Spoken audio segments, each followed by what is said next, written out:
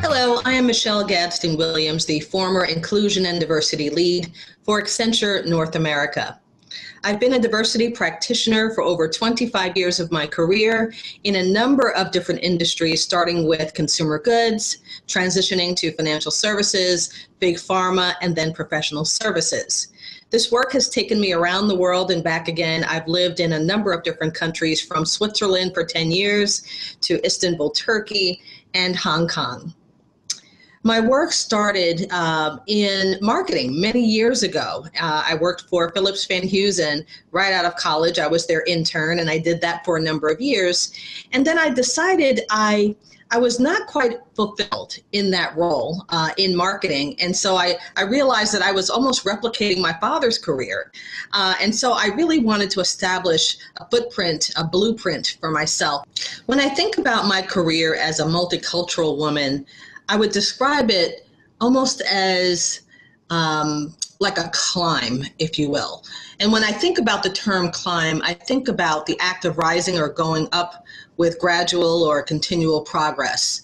And that's how I would describe my career over the years. You know, I, I, I just had a conversation recently with a, a mentee of mine, and we were talking about career aspiration. And there are some of us that have an easy go of it who can take the proverbial elevator up to the C suite, and others not so much. We have to take the stairs with a backpack and no air conditioning. And so, so I think for a lot of women of color, we have a different journey. We have a different um, ascension as it pertains to our career. It ebbs and flows and twists and turns, but no matter um, what your journey is, it will take you that much closer to get to your North Star or your ambition, whatever that might be. What I've learned over the years is that membership into the C suite doesn't come easy. It requires more than just putting your head down and doing a good job. It requires grit, uh, courage, a keen sense of self, the ability to um, do more than what's required, um, mentors, sponsors, and some other things. When I think about success, and success to me means living a life of meaning and value. And every decision that I've made in terms of my career has been anchored around that. My passion is my full force of energy that I exert to anything that I care about. My passion is my why, and my purpose is my conviction. And they're certainly um, intertwined. And all that I've ever wanted to do and to focus on in terms of my career was to leave a place in better condition than when I entered, but more importantly, to help the next generation of young women realize what's possible.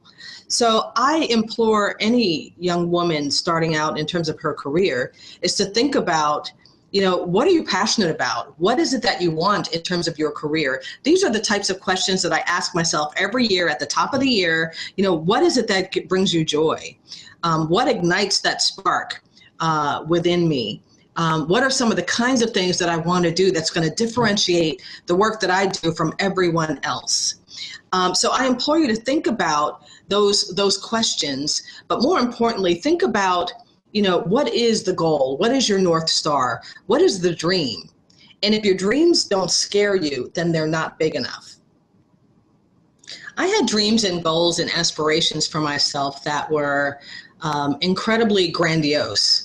Um, I remember as a young girl talking to my parents and telling them that someday I was going to live abroad and live in Africa and, and Asia and Europe and all these places, and I was going to be, you know, a senior leader in all these organizations. And um, as as as much as um, my parents appeased my my big ideas, I think I was prophesizing my future uh, because I've always loved geography and I've always loved traveling abroad on vacation. And so when I had an opportunity to live and work abroad in some of the companies that I've worked for, Novartis and Credit Suisse and uh, a few other com- uh, companies that allowed me to have global assignments, I jumped at that opportunity.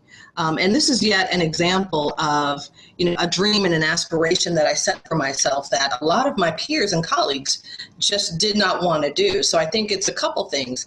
Um, it's having the courage to ask for what you want um, and believing in your yourself, um, but talking to the right um, decision makers within your organization who can make those dreams uh, come to fruition for you. So I think it's it's it's more than just dreaming big. Um, it's it's it's more critical that you have the courage to talk to those who can make those dreams a reality for you. You know, one of the things that my father would say to, I'm a twin, I'm an identical twin, and uh, my sister, Dr. Monique Witherspoon, um, my father would always say to us, you know, you're not here to occupy space. You're here to make a difference, and it's up to you to determine what that difference is. Well, I believe that I, I've found what that difference is for me. And that is the work that I do every single day as a chief diversity officer.